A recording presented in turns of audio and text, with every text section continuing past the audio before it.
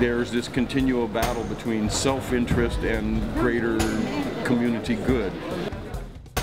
We had no idea this is where the story would lead us. These problems existed in Cinque Terre 200 years ago.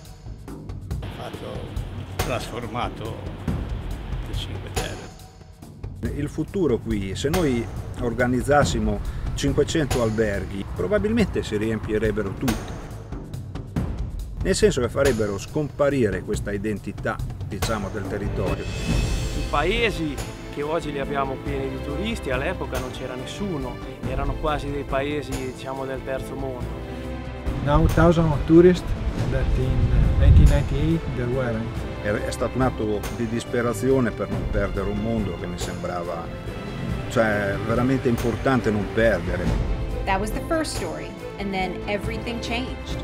Arresti eccellenti in Liguria, il sindaco di Rio Maggiore Gianluca Pasini e il presidente del Parco delle Cinque Terre Franco Bonanini Non ho gioito perché ho pensato a dieci anni di progetti buttati in fumo, di idee che erano nate col Parco Nazionale. The park was more or less shut down because people want to sell their property and realize the financial benefit of, of uh, greater development in Cinque Terre. All the regulations, they're gone. I think that in any population there is inevitably division. To save the good things that we did is too important.